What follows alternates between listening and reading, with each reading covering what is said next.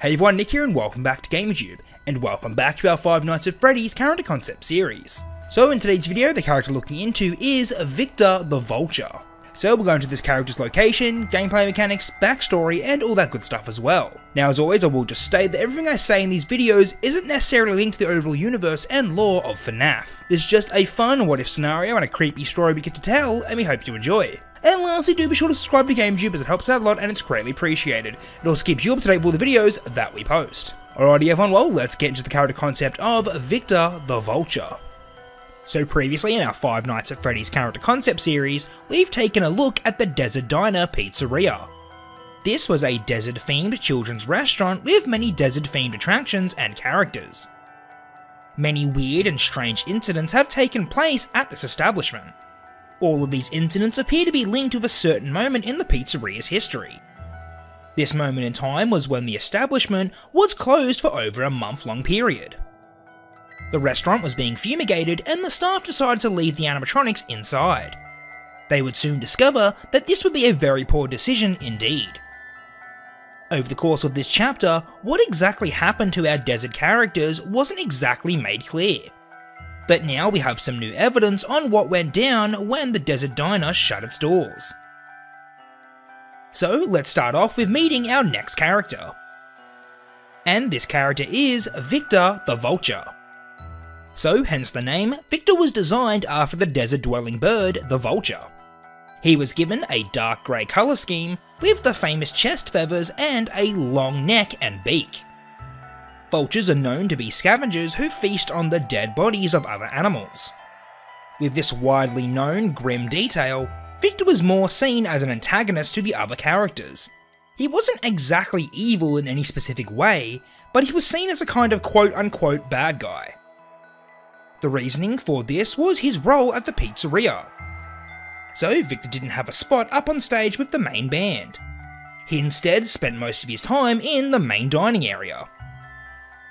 While all the guests ate their pizza, from time to time, Victor would come out of his hiding area. Menacing music would play as he walked around and tried to steal their food. Because vultures were known to be scavengers, Victor's whole gag was that he was after all the guests' leftover pizza. Whenever he approached a table, all the guests would have to yell, Scram, Victor, go away.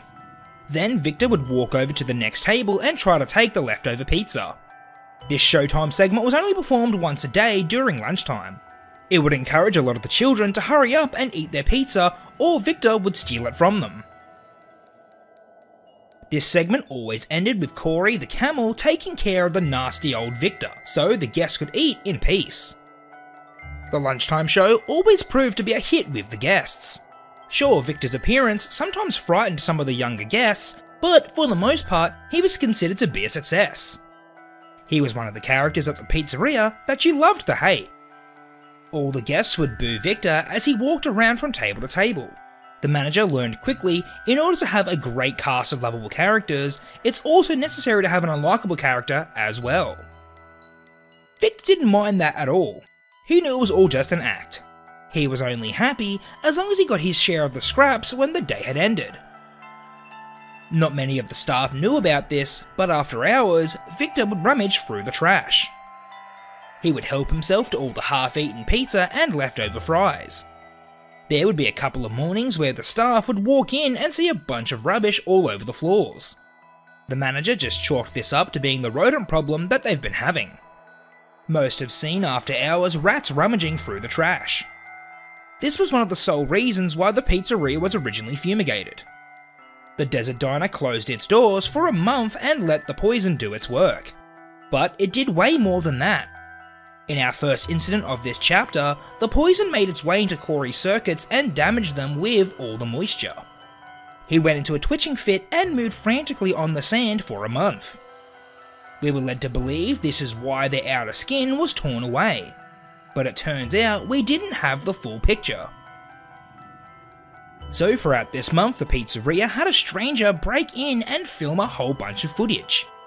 It was leaked online for all to see. As to what this footage showed, we'll get into that later. So over this month long period, things got a little strange for Victor. Every day he would walk out to the main dining area and pretend to steal all the guests' food. But day after day, no one was there. No menacing music, no one booing him. Just nothing. The only thing he could see was that thick green poisonous cloud hovering over the floor. Every night Victor would go without his scraps. This began to drive Victor mad.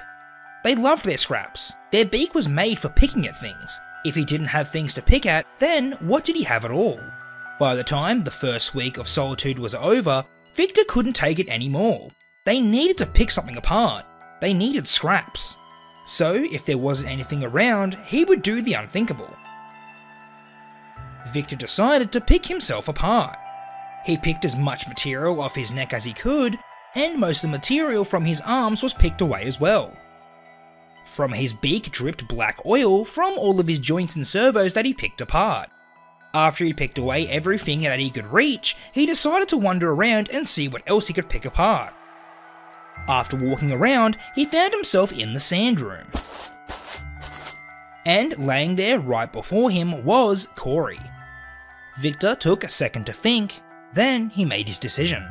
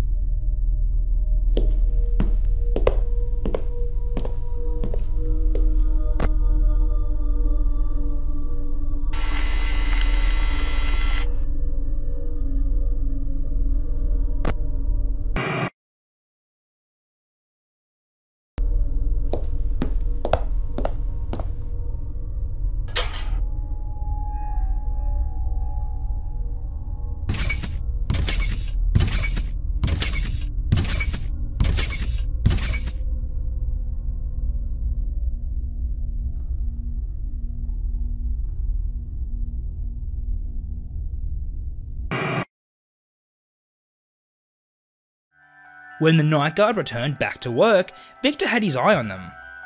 They looked much more delicious than any of the scrap they could think of. And their outer squishy material must be softer than any of his animatronic friends. He just had to pick at them, especially their face. That's what Victor wanted to pick at the most. So, when the time was right, Victor would make his move. So now, let's get into the gameplay segment of the video. As always, the gameplay loop is based on the classic FNAF formula of observation and management. Victor's starting position would always be in the main dining area. Victor would be one of the characters that would start moving as soon as the night begins. The player would need to keep an eye out for Victor and to close the doors as soon as they see him. Victor's attempts to enter the office would come from the right hand side door, and they would happen quite frequently. Sometimes Victor can be seen staring at the player through the glass. The player would need to be extra careful when they see the red lights. This would mean that Victor would appear from either side of the office and give the player no time to close the door. This specific attack would be quite similar to Foxy's classic attack, where he would charge down the hallway and charge to the office. The player needs to keep on their toes and predict where Victor will be charging in from because if they don't, they'll be greeted with a classic FNAF jump scare.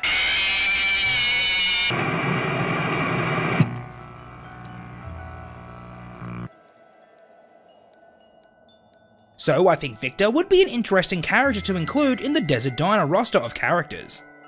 The inclusion of a vulture only makes sense with the desert theme, and their disturbing appearance and motives are sure to creep out the player. Their gameplay tactics are fast and frantic and are sure to be a challenge, that's for sure. Alrighty everyone, well that's all we have for today's video, I hope you enjoyed, and if you did, please consider leaving a like, commenting and subscribing, as it helps out a lot and it's greatly appreciated. As always, let us know in the comment section down below what you thought of Victor the Vulture and what you'd like to see going forward. Alrighty everyone, well, to the next video, catch you later, bye.